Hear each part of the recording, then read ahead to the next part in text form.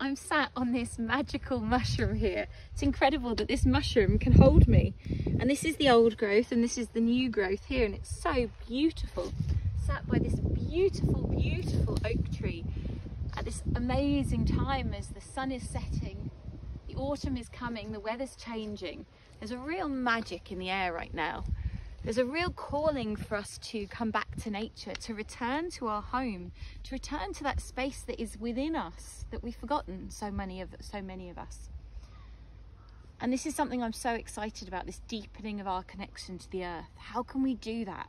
How do we get to listen to what the earth is calling us to say? How do we listen to what our body is wanting us to do?